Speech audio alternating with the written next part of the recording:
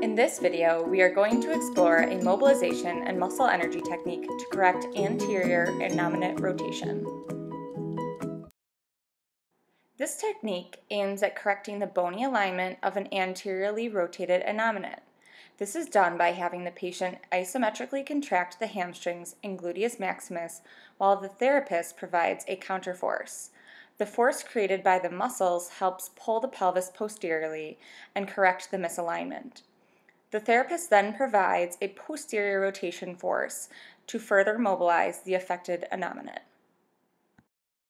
Mobilization grades 1 through 4 can be utilized. A grade 1 mobilization is used to relieve pain and uses small amplitude at the beginning of the available range of motion. A grade 2 mobilization is also used for pain relief, but it uses a large amplitude at the beginning to mid-range of motion. A grade 3 mobilization is used to improve mobility.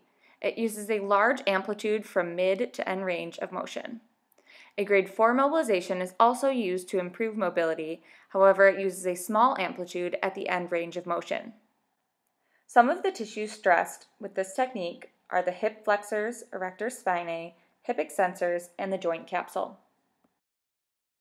Indications for using this technique are Upon palpation, the PSIS is found to be more superior and less prominent, while the ASIS can be found to be more inferior and more prominent on the involved side.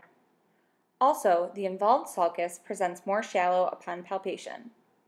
When comparing leg length, the medial malleolus on the involved side may be inferior, presenting as a longer leg on that side. An anterior-posterior compression test may be restricted on the involved side.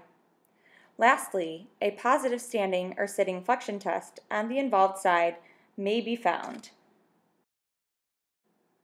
Absolute contraindications for this technique include unstable fractures, an acute musculoskeletal injury, and osteoporosis. A relative contraindication for this technique includes pregnancy.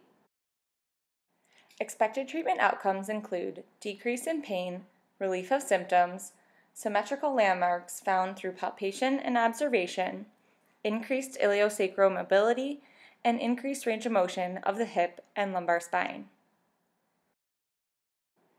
The treatment steps are as follows.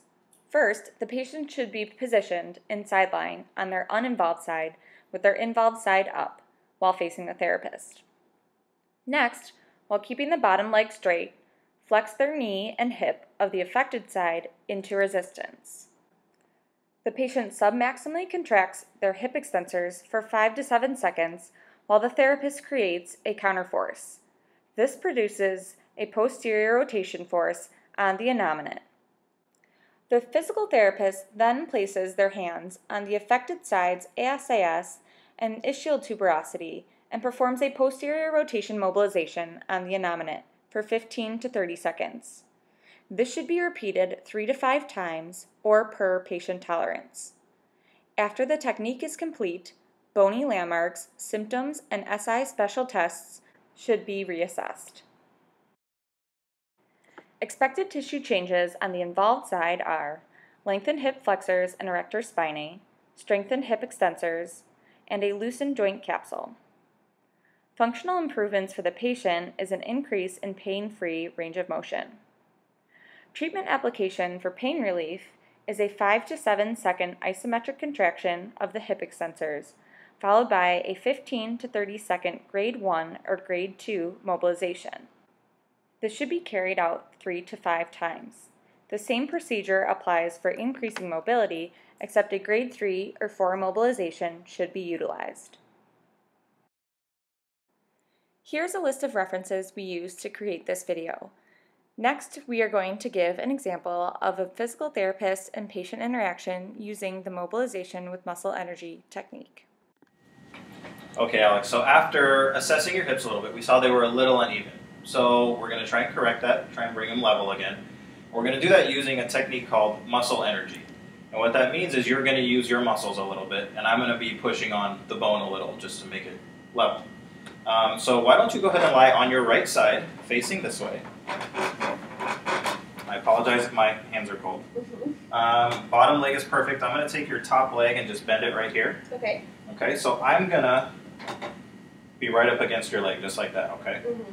So what I want you to do, not, not quite yet, is you're going to push against me using your glute muscles, okay? Mhm. What that's going to do is, if you think about your, your top bone right here, it's tilted this way. We're going to try and tilt it back this way. And your glutes are going to help do that. Okay. Okay? So, when you push against me, I don't want you to do as hard as you can. Think maybe 75%. Okay, so my hands are going to be on the hip bone as well. And after you're done pushing against me, I'm going to give it a little bit extra push, okay? Sounds good. If anything hurts, let me know. It shouldn't. It should be just fine, but let me know, okay? So I'm going to place my hands here. Okay, so why don't you go ahead and push against me? Perfect. Relax. Okay,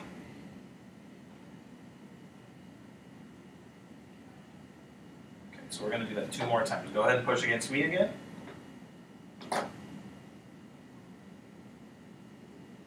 And relax.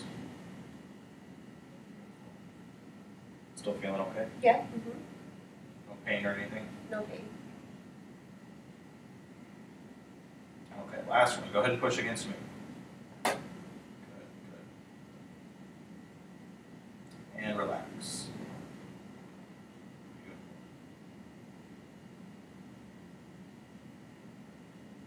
Okay, feeling all right? Mm-hmm. Yes. So just to kind of assess, make sure that everything is level again, I'm going to have you stand up. And why don't you go ahead and face that way? This way.